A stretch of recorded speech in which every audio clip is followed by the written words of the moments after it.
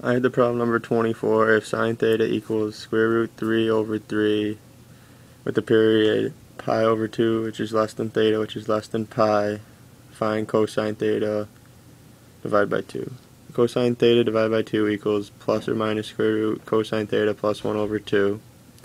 First, you have to find the third side of the triangle, which is used by Pythagorean theorem, which is square root 3 squared plus x squared equals 3 squared is 3 plus x squared equals 9, which gives you the square root of 6, which is in the second quadrant, so it is negative. So the cosine of theta equals negative square root 6 over 3. So cosine theta divided by 2 equals 1 plus square root 6 over 3 over 2.